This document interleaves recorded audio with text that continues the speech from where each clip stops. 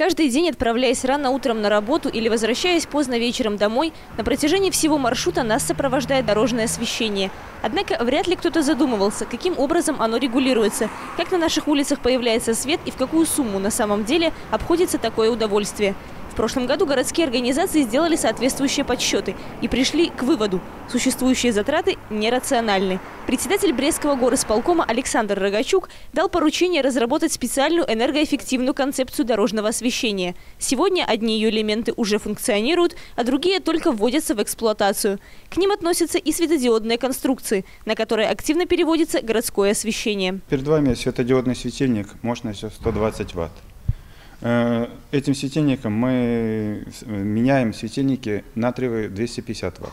То есть, если натриевый светильник 250 ватт плюс э, аппаратура пускорегулирующая получается в сумме 285 ватт, то вот этот аналог всего лишь 120 ватт.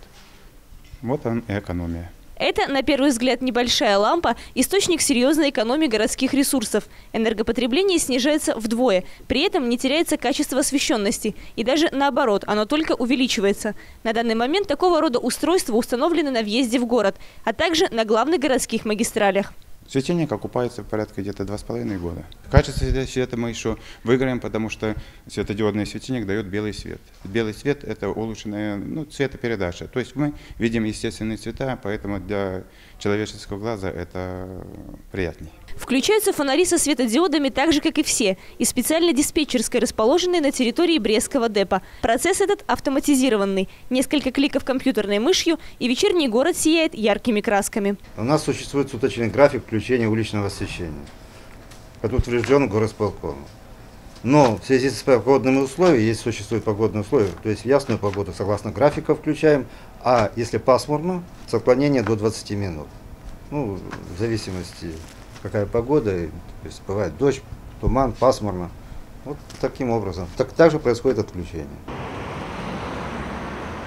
Вот такой вечерний Брест, светящийся разноцветными огнями, как многомиллионный мегаполис, видят берестейцы каждый вечер. А поскольку все мы уже находимся в предвкушении грядущих зимних праздников, Нового года и Рождества, хочется, чтобы город был наполнен яркими красками и чудом. Брест у нас очень красивый город, он вообще всегда украшен красиво.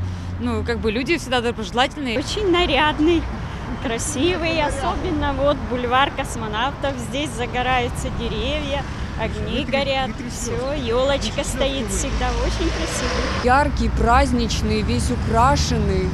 Вот, наверное, такой. Мы надеемся, что он будет красивый.